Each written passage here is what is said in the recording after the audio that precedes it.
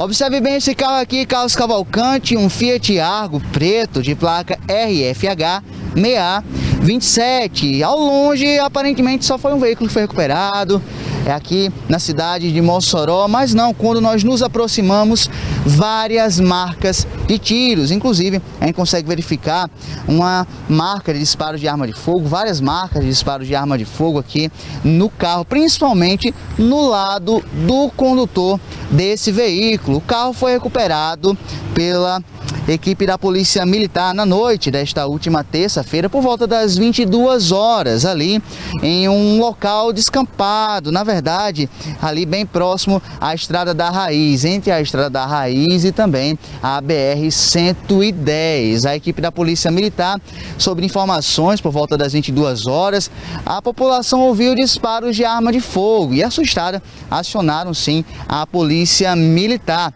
No momento que a Polícia Militar foi acionada, foram até o local indicado pelas denúncias. Chegando lá, estava o carro abandonado, esse Fiat Argo. E no local a gente verifica aqui, inclusive, que a polícia militar já observou isso, o carro pertence a uma locadora. Essa locadora, no caso aqui, teve um certo prejuízo agora com esse carro, o carro pipinado, crivado de balas, a gente consegue verificar, inclusive, aqui na lateral desse veículo, que o carro ele está cheio aqui de avariações, principalmente disparos de arma de fogo na lateral, na parte aqui que compete ao condutor. Aqui mais à frente a gente consegue verificar, inclusive, que o pneu do carro ele está seco, furado. Possivelmente aí nessa fuga onde o condutor se viu nas mãos dos inimigos aí dos criminosos ao efetuarem esses disparos de arma de fogo ele tentou fugir. Na lateral a gente consegue até verificar vários arranhões na lataria do carro.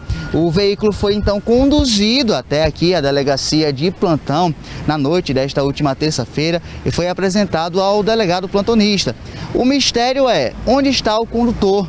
Onde ele foi parar e em que circunstâncias aconteceu toda essa ação criminosa na noite desta última terça-feira.